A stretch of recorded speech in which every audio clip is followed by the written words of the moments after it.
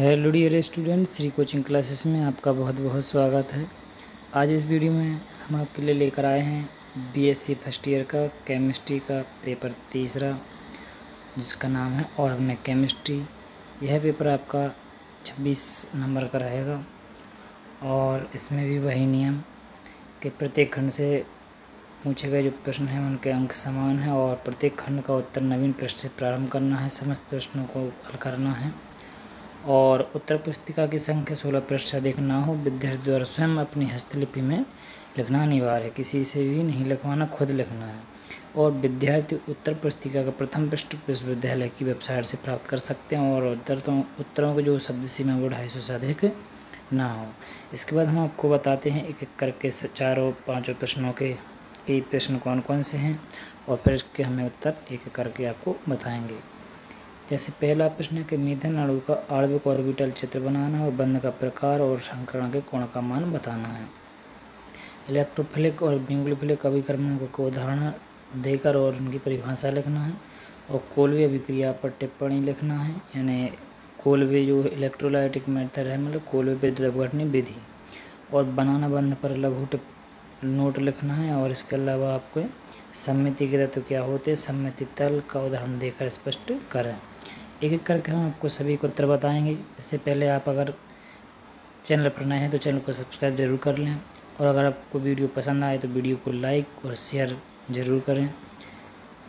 इसके बाद आपका ये रहा पहले प्रश्न का उत्तर।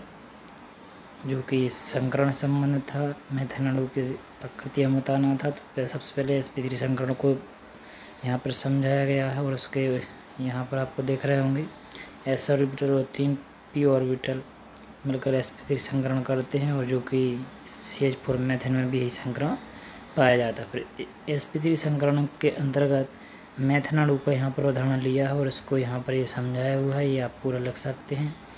ठीक है, और इसके बाद ये ऑर्बिटल का चित्र आपको बनाना है। और इसके बाद आपको उसमें ये पूछा था कि उसके कोण का मान क्या है, और इसके बाद वो भी पूछा था कि इसका संकरण कौन सा होगा, ठीक है? तो ये था इसका पहले का उत्तर। इसके बाद प्रश्न क्रमांक दूसरा, जिसमें पूछा था इलेक्ट्रॉनिक स्नेह विक्रमक है जिसको हम इलेक्ट्रोफाइल भी कहते हैं हेडिंग डाल सकते हैं इंग्लिश नेम भी यहाँ पर लिखे हुए हैं। और यहाँ से ये परिभाषा आप ये सब पूरा लिख सकते हैं, ये जानने योग्य बातें ये आपको नहीं लिखना है। ठीक है, इसके बाद हम आते हैं और यहाँ पर अभी पहले प्रश्न का टॉपिक का उत्तर ये है, यहाँ तक उदाहरण सहित। फिर इसके बाद आता है, आपका नाभिक अभिक्रमक न्यूक्लियोफाइल और इसकी परिभाषा लिखी है और साथ में इसके उदाहरण भी लिखे हुए हैं। इसके बाद हम आते हैं प्रश्न क्रमांक तीसरे पर और तीसरे में आपको कोलवे की विद्युत घटने विधि समझाना है। तो ये परिभा विधि हो गई उसकी। यहाँ पर ये कैसे अभिक्रियाएँ होती हैं वो बताया गया है, ये आपको कुछ नहीं करना इसका। ठीक है, ये आपको इस प्रकार से यहाँ पर लिख देना है। ठीक है, इसके बाद नेक्स्ट प्रश्न आता हमारा चौथा, जिसमें पूछा गया था केलाबंद क्या होता है। तो साइक्लोप्रोपेन की आकृति लेकर यहाँ पर केलाबंद को समझाया गया है।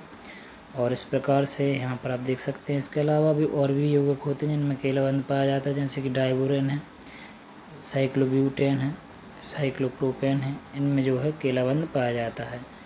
जो कि एक केले के संबंध संरचना आप देख रहे हैं। यहाँ पर ये भी एक बंद है सस्मी बंद होते हैं यह इस प्रकार से ये जो है, इनकी आकृति पाई जाती है। तो ये आप इसको अच्छे से लिख लें, समझ लें। ये यहाँ पर साइक्लोप्रोपेन में और साइक्लोब्यूटेन में किलाबंद बताया गया है। चित्र आप बना लें।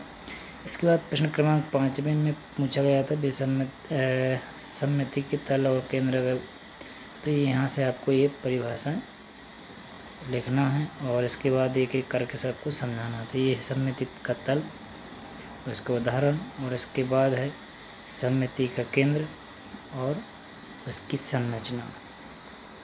तो हाँ यहाँ पर ये जो आपको दिख रही है, इसकी संरचना है और ये जो है आपको कोने पर यहाँ पे ये जो है सी डबल ओ एच है कार्बोक्सिलिक अम्ल इसके बाद यहाँ पर आपको एकांतराक्षीय समिति अड़ु वाली जो है परिभाषा और यहाँ पर इसकी ये चित्र आपको यहाँ पर दिख सकता है। इसके बाद ये जो है वीडियो पूरा होता है और आपके पाँचों प्रश्नों के उत्तर कंप्लीट होते हैं। अगर वीडियो अच्छा लगा हो तो वीडियो को लाइक और शेयर और सब्सक्राइब करना ना भूलें, जिससे आपको सभी पेपरों के नोटिफिकेशन मिलते रहें। मिलते हैं नेक्स्ट वीडियो में। धन्यवाद।